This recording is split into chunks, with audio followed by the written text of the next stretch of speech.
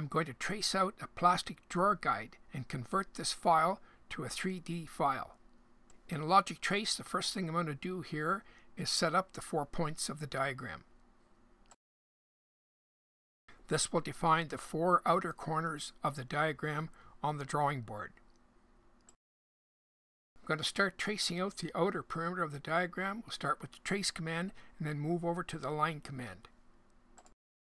These drawer guides are very small, about two and a half inches across, so I blew up the diagram to trace it out, and when I'm finished with this file, I'll shrink it back to the actual size. When I say I want to convert this DXF file into a 3D file, all I want is I want this file, this image, to be about a quarter inch thick. And because of that thickness, it becomes a 3D file, and to print this in a 3D printer, you have to have a 3D file, which is the STL format. You can see here I'm using the circle command. You just touch three points and the computer echoes back the diameter and I corrected that to 0.25. I even marked it on the diagram there, quarter inch hole.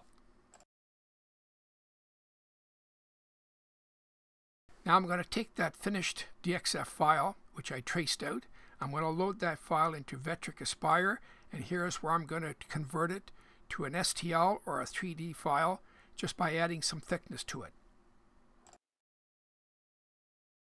From here, that file will be loaded into the 3D printer software. Shown here, I've set up the printer for that file and I went through the simulation just to see how it's going to look. It looks okay. Printer software generates a G-code and also gives you the time it's going to take to print.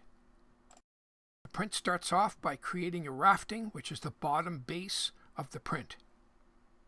This is necessary so the print won't move around while it's on the printer base. I guess you could say it's like a hold down. Once the base is all finished, the rafting, now you can see where the print is actually starting to form. Once the print is complete, I'll take it off the bed, scrape it off the bed, and remove that backing. This is a shot of the printer I used. And this is the finished printed part. I wanted to show the equipment I used to trace out this diagram. I'm using the small portable drawing board. It's 12 by 18 inches. You can see here I've got the diagram fastened to the board. The reason I printed this drawer guide is because it's very difficult to buy.